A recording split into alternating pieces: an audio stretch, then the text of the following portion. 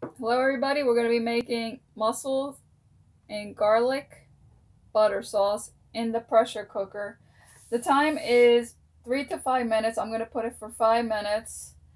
I have a cup of water I'm going to add with the um, mussels inside the pressure cooker.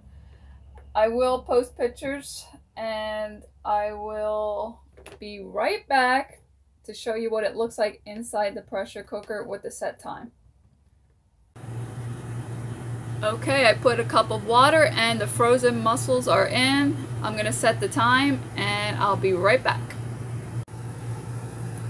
Okay, I set my time for five minutes and we're going to get this started.